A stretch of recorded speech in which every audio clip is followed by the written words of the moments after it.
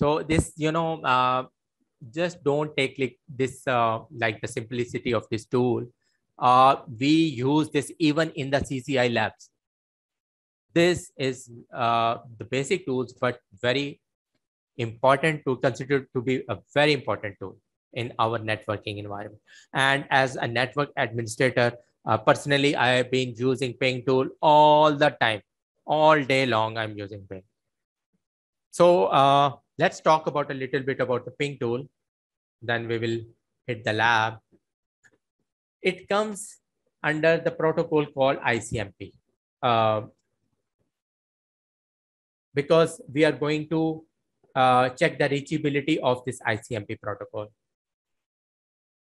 The ping is a command prompt utility used to test the ability of the source computer to reach the destination. So let's suppose we have two computers connected with each other with any mode. I have no idea whether it's switch, router, whatever. And they have some kind of IP addresses I want to see whether this computer, this one is alive or not. This computer is there on my network or not. This could be the PC, this could be my server, this could be even my access point because all devices have some kind of identification, which is IP. So with the help of ping tool, I'm just going to hit this device with a ping tool and this device is going to give me a reply back saying that I'm alive.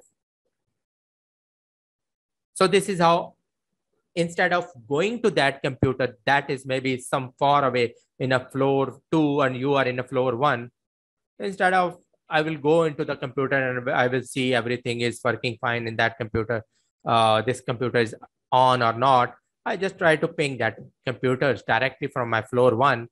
And if I receive the reachability, it mean that computer is alive. It has some options available. We will discuss a lot in detail in this uh, uh, demo. And we will talk when we'll hit these options. Uh, let's go to the uh, demo and then we will talk about these error messages. Then this will make sense. So I hope everybody is familiar with the, the command prompt. What is it? Yes. It is it is pre-installed in uh, your uh, Windows machines and even in the Linux as well. Um, in the Linux, we sometimes call it shell or the console. Uh, and in Windows environment, we call it a command prompt. If you type on your search bar and type uh, command prompt or just type CMD, you will find this black console kind of application. Just click on that. Okay, so um, first of all, I give you the scenario. I have uh, my device, which is connected on IP 192.168.100.3. Then for this demo, I'm using my access point or the modem which is connected at 192.168.100.1. So let's try pinging my access point first of all. So I want to see end-to-end -end reachability. Type ping, then the IP address of the device, which is in question, which is my access point. So type 192.168.100.1, which is the address of my access point and click. As you can see, we it will generate uh, one, two, three, four replies, basically saying your access point is alive and it is giving me reply. So I have reachability end to end with the access point. In the same fashion, if you have 100 devices attached in your lo local area network and you want to see the reachability, you can just do pinging all these devices one by one. One, two, three, four, to check the connectivity.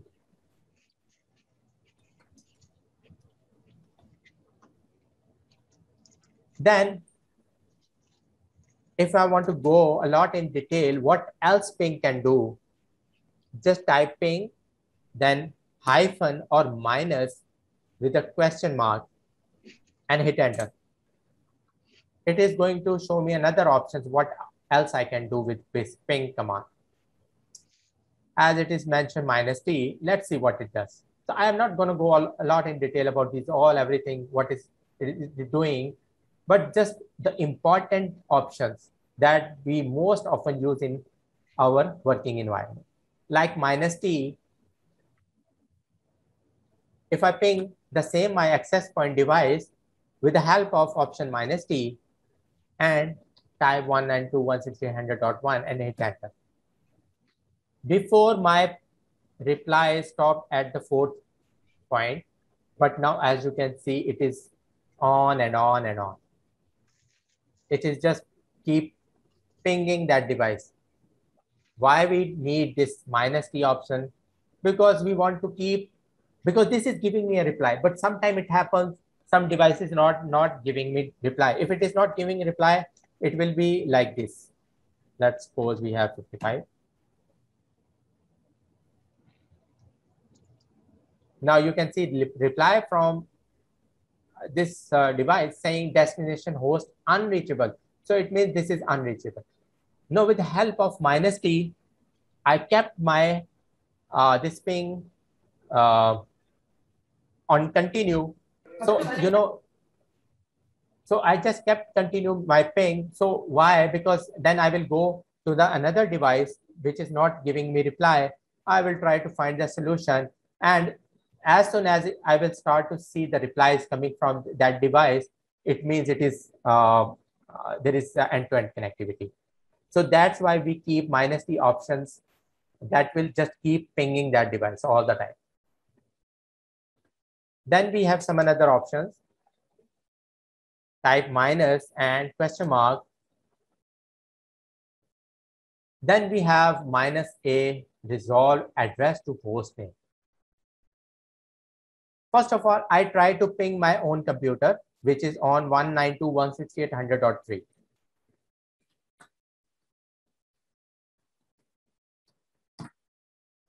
So it is giving me, giving me a very simple reply.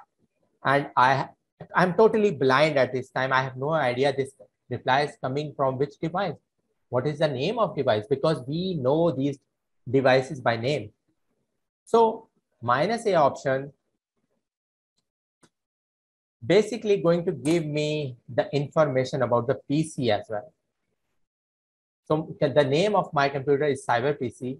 So just by looking at this uh, name, I will know that, okay, this computer, this belongs to this. So you can have like in a real production environment, let's suppose you have four or five servers uh, in your uh, IT closet. And then you can ping those devices, but you have no idea what that server is for. Let's suppose one server is running uh, your hotel management application. Another server is running uh, SQL server, server. Another one is running, let's suppose, uh, uh, your finance application. So with, because you have given some kind of name to this, I'm sure. Okay, let's go uh, some another options. Um, then what else? Uh, this is the number of pings we can send. For example, uh, I want to send just one ping just for some purpose. Oh, sorry. Uh, you have to mention how many pings you want to send after minus n. As you can see, it just sent one ping. Okay. So there could be some reason, valid reason, uh, uh, the purpose that we want to send only one ping. So this thing can. So Kamran, can we use can we use this uh, specific one for let's say cabling issue? I know that sometimes there's a cable issue n we we want to run the command for a long time to see if the cable is fully working. Is this the command that you would prefer as a network engineer to use or the other ones? Exactly. This uh, ping minus and um, you know there is no any specific reason using minus n but the one that is most being used is minus t. It will keep pinging And we can see, like, you know, if I show the, my internet connectivity right now, if I try to ping minus t with the help of 4.2.2.2, so basically it kept on pinging and I can correlate with my TTL and times if there is any kind of delay I can see here. Can, can you explain to us or for Haifa and Christelle, how, how does how do you de determine these MS? What does this gives us, us any information? If it okay. says MS this much or TTL this much, yeah, how yeah. would you? So I will not touch this TTL part because we are going to cover next. Okay. So we will be specific to this time. These are the time slots. Basically, is trying trying to hit this device in this millisecond. It means my first packet went in 147 millisecond, it hit that server and returned back. Again, 147, 147. It means my internet connectivity is so stable. But as you can realize here, hit something happened. It hit 140, 58 milliseconds. It means some kind of application which is running in my background. Maybe it is taking some kind of data. So this is one, a very good method, you know, to identify your internet connectivity as well.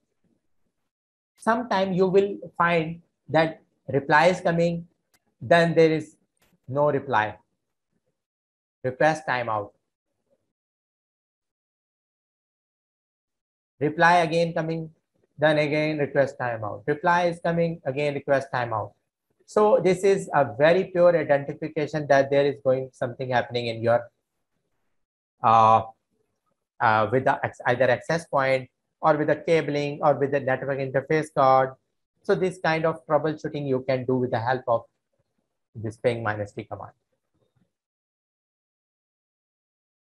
Clear? Thank you. Yes, sir. Okay, that's great.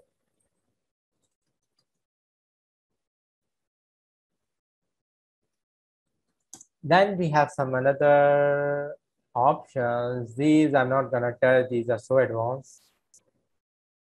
Uh, uh, then this is also very informative, which is saying source address to use. Okay, uh, I think I have removed that. So we have this uh, a simple topology where we have a server and we have a host machine and I'm trying to send a ping. But you have multiple interface cards connected to this host machine. Like in my case, I have one wireless LAN. I have one for LAN. I have one for VMware 1 for virtual machine for virtual machine 2. So what if I want to ping this server not using my default LAN interface card, but from my wireless LAN? Then this thing will help us, minus S, which is basically telling me from which source you're gonna ping. So let's do this example here live. Uh, let's suppose if I go to ipconfig slash all to see all of my IPs. And let's pick uh, the IP, let's this one, 192.168.42.1. And if I want to ping, I will type minus S with uh, this uh, as a source, which is uh,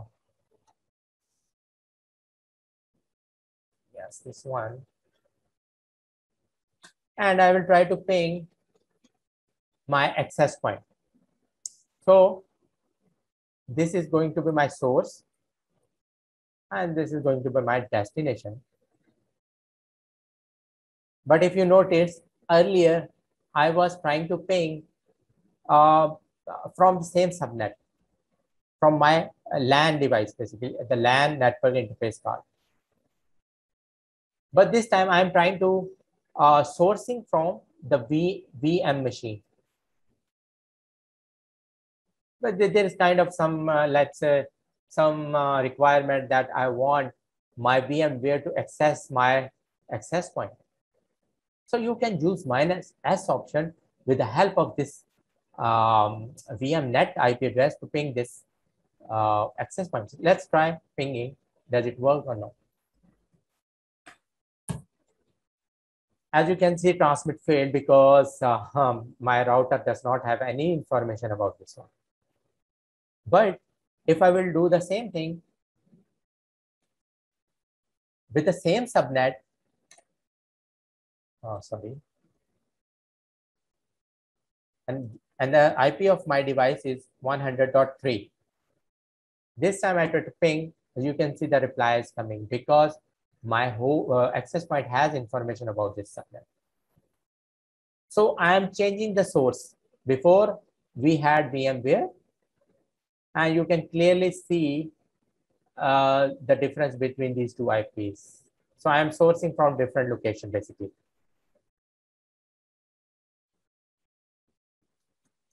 If I try to go some other options, and I'm not gonna go uh, do the demo for this one. If you have uh, IPv4, this is by default, we will type minus four. And in case of IP6, what if I want to ping IPv6 addresses? We can use like ping minus six, and then this uh, very long IPv6 address, something like this.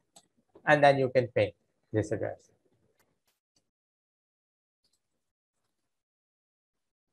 Okay, so the demo for your ping section ends here. If you have any question, you may ask.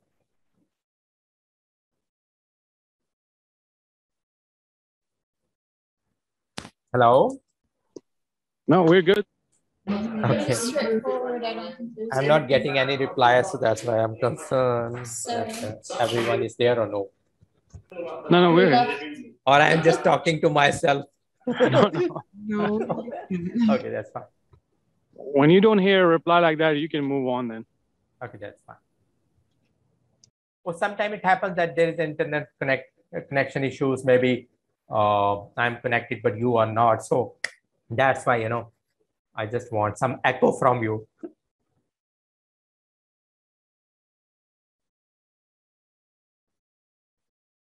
Okay, so the ping has, uh, we have done. Okay, so uh,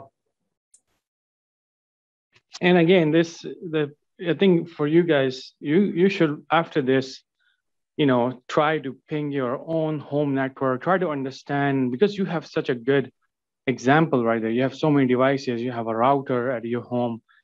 Because you're gonna have to start with extreme basics like that to understand your even your home network that level. Like ping it, ping JSS website, try to ping it for a long time, try to understand what's like, you know, the time, things like that. And after this, you should be doing your own research to do a lot on ping side because it's great to get started like this. But again, you're always going to be, as a network engineer, going to be using the same concept, even in routing, even in switching, you have to do ping uh, other devices for, for you to do your work.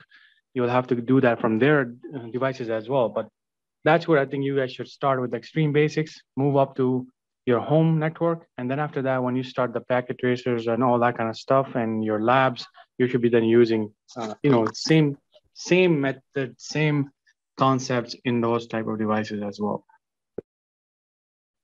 Mhm. Okay. So we come across some another uh, error messages you need to understand. One is destination host unreachable versus request timed out. So most often you come across these errors, so, so you must have an idea what what is the different difference between these two.